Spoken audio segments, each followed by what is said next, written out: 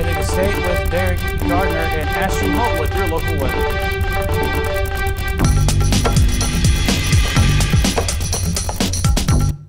Hello, I'm Derek, and I hope you're having a great day. How are your classes going, Ashton? You're going very well. How about yours? I'm just sliding through them, trying to do my best this semester. That's good. Well, many students may not realize Chattanooga State offers study abroad. Chattanooga State's study abroad program has trips planned this summer to Brazil, England, France, and Greece, to name a few. Traveling to another country as a part of the study abroad trip allows you to build relationships with your classmates and teachers as you learn experiences through another country's culture together. Taking a class in a different country allows you to see the world through uh, another lens, studying abroad. Demonstrates skills employees are looking for in the workforce, like problem solving, communication, and cultural awareness. There are funds available at Chatt State to help cover costs. For more information, visit chatstate.edu slash study hyphen abroad. That looks interesting. So Ashton, how's the weather looking out there? It's a beautiful day today as we take a look at the Chickamauga Dam. Uh, it's a beautiful day, lots of blue skies, and there's just not much to really talk about as far as that's concerned. Let's go ahead and look at the graphics. Um, right now, this is earlier this morning uh, at the Chattanooga Airport. 32 degrees was reported with foggy conditions with a quarter mile visibility. So it was a foggy morning this morning. As look at uh, local observations, 32 Chattanooga, 32 also in, in, Dalton, 31 in Lafayette, as well as Fort Payne. Further north in Dayton, 28, as well as Cleveland, 37, 32 in Athens. So it was a cold morning. And as far as fog is concerned, we again quarter mile visibility in Chattanooga, Dayton, uh, fairly well in Cleveland and Athens, half mile visibility in Lafayette, and about a mile visibility in Scottsboro. But just south of there towards uh, Rome, Summerville, and Fort Payne, we had 10 mile visibility. So, uh, you know, some people had some issues this morning, but all is well now. High pressure over us right now. We're giving us some nice weather. Low pressure off to the west. That's going to move its way here, giving us some rain tonight. Now, as this moves off to the east, it's going to bring some snow off to the north. We have a winter storm warning in effect west of here, not here, but west of here uh, towards the mid-south into the into the plains. That's going to bring us some, bring them some good snow. South of the low, south that same low I just told you, uh, it's going to give some uh, showers and storms to the Gulf Coast. Uh, but that's just going to give some passage showers, and that's what that is. Uh, that's what I'm talking about. Here's what this where the snow is right now, just uh, west of Oklahoma, Dallas, and down to Shreveport, down to Louisiana, almost to New Orleans. There's some showers and storms. Again, it's going to move its way here, but nothing too serious. This tan is a wind advisory, all for Tennessee, Alabama, most of Georgia and Mississippi. Uh, their winds could be uh, around 15 to 20, with gusts probably over 35 miles an hour into tomorrow.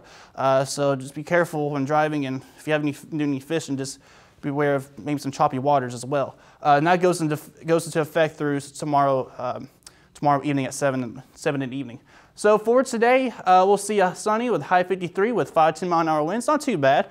Tonight, the winds are really going to pick up and you're going to hear it. It's going to be howling. Uh, 15 and 20 mile an hour wind gusts.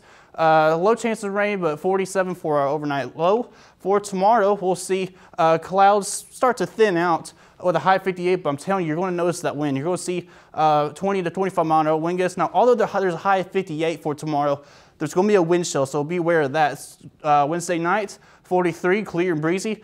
The winds will subside just a little bit, but not by too much, 10 to 15 mile an hour winds. For the, for the weekend, again, 54 for Friday and Saturday. Uh, clouds will start to increase. 28 for the low for Friday. And for Sunday, we'll see some rain start to move in, and a low chance for that, about 40%. 47 for the low, 37, or 5 and 37 for the low. 40, 34 for the low. Uh, as we look at the seven day, uh, sunshine again will stick with us through Friday. Clouds will increase for Saturday. Highs will be in the mid 50s. And then a cold front will move through for Sunday. Again, showers will move through. Now, by Sunday night, it's going to move out, but clouds will still stick with us. Highs for that reason will uh, be in the mid 40s. And now, after Tuesday, I was looking at some long range weather charts. We could be probably seeing uh, temperatures for daytime highs after this week, possibly reaching the 60s. So that'll be something to look forward to. Avatar The Way of the Water continues to set records. Rick Damigella tells about his latest fathom marker in the Hollywood Minute. It certainly connected moviegoers. Disney has announced Avatar The Way of Water has surpassed the $2 billion mark at the worldwide box office. Combined with the original Avatar and Titanic, this makes James Cameron the only director to helm three movies in the $2 billion club.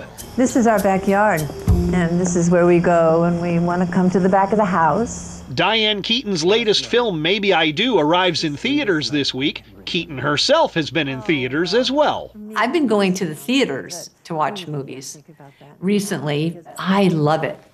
I just love going into the theater and watching it. I do. A film, it's fun, it's engaging. It's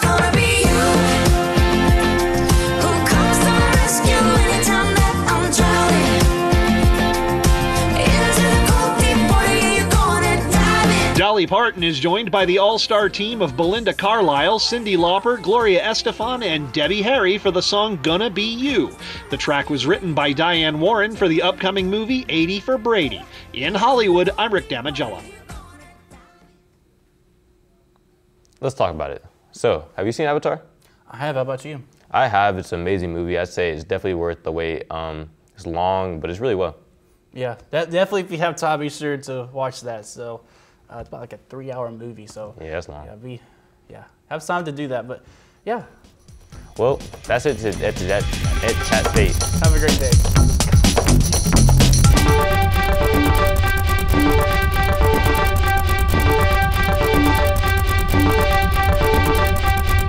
Scene one, Apple take, scene one, Apple take two.